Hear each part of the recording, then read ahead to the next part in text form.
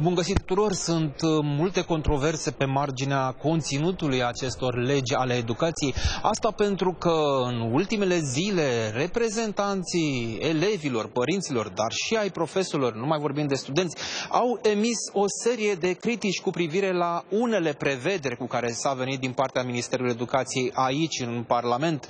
Dacă ieri a fost o discuție atât pe problema celor examene separate pe care ar putea Uh, să le facă liceele top, iar uh, reprezentanții părinții și elevilor au criticat această prevedere ca fiind una inechitabilă și care menține acea industrie a meditațiilor. Astăzi uh, ne așteptăm la dezbatere aprinse pe problema bacalaureatului, acolo unde cultele au cerut ca religia să reprezinte, să fie o materie opțională la acest examen.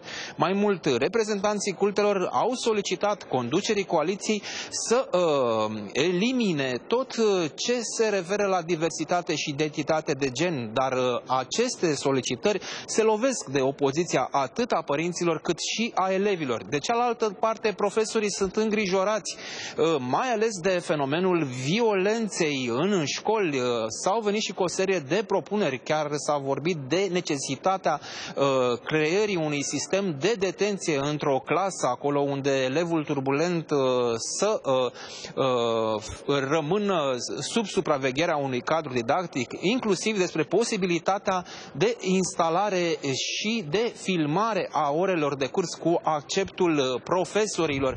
De asemenea, s-a mai discutat uh, ieri în uh, dezbaterile din cadrul Comisiei de Resort și despre posibilitatea creierii unor centre de reeducare, dar această idee nu întrunește deloc susținerea parlamentarilor. Așa cum am spus, astăzi ne așteptăm la dezbaterea aprinse, însă nu vom avea un raport prea curând pe acest, uh, aceste proiecte de legi.